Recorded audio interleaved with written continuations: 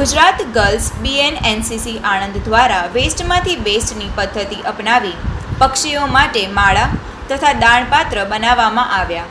Battalion girls દ્વારા waste વસ્તુઓ તથા ઘરમાંથી નીકળેલ વધારાની ન વપરાતી વસ્તુઓ જેવી કે પ્લાસ્ટિકના વાટકા, કંતાન, પ્લાસ્ટિકની બોટલો, પૂઠા વગેરે વસ્તુઓથી પક્ષીઓને રહેવા માટે માળા તથા દાણ ચડવા માટે પાત્ર બનાવવામાં આવ્યા હતા. એનસીસી ગર્લ્સ દ્વારા આ અનોખી પહેલ અને પક્ષીઓ માટેની દયાને દર્શાવાઈ હતી. ગર્લ્સ દ્વારા અવનવી રીતે અને ડિઝાઇનર માળા અને દાણપાત્ર બનાવવામાં આવ્યા હતા. માળા તથા દાણપાત્ર પર સુંદર ચિત્રો દોરી તેને આકર્ષિત નજરોને ગમે તેવા બનાવાયા છે. જય હિન્દ.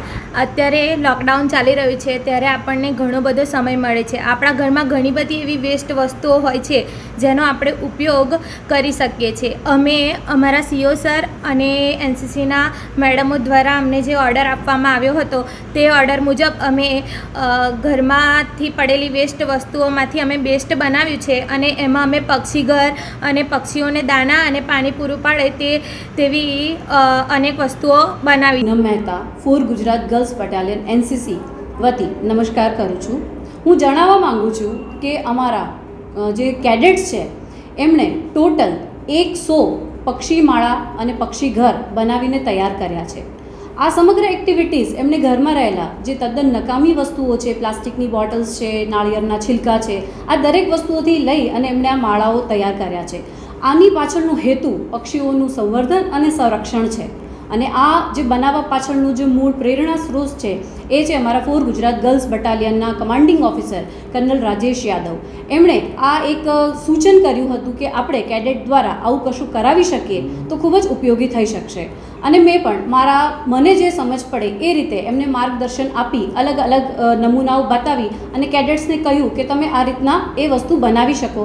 ત્યારે મારા કેડેટ્સે ખૂબ જ સુંદર રીતે અને ખૂબ જ ઓછા સમયમાં આ વસ્તુઓ પોતાના ઘરે રહીને જ ક્યાંય પણ બહાર જયા વગર અને કોઈ પણ વસ્તુઓની ખરીદી કર્યા વગર પર્યાવરણને ઉપયોગી એવી એક સુંદર, અદ્ભુત રચના કરી છે. ગર્લ્સ બટાલિયનની હંમેશા એક વિશેષતા રહી છે કે જ્યારે પણ સમાજને કે સરકારને જ્યારે પણ કોઈ વસ્તુની જરૂરત પડી છે, ત્યારે હંમેશા એ અગ્રસર આવીને ઊભી રહી છે. લોકડાઉનના પ્રથમ ચરણમાં જ જ્યારે સૌથી પહેલાં માસ્ક એટલે શું અને માસ્ક ક્યાંથી મળે એ લોકોને વધારે વિશેષ સમજ ન હતી, ત્યારે અમારા કેડેટ્સ દ્વારા જ ટોટલ એક હજાર માસ્ક બનાવી અને અમારા આણંદ જિલ્લાના કલેક્ટર ગોહિલ સાહેબને અમે અર્પણ કરેલા હતા. આનું પણ પ્રેરણા સ્ત્રોત અમારા colonel commanding officer colonel Rajesh Yadav sir જ રહ્યા હતા. અસ્તુ, જય હિન્દ.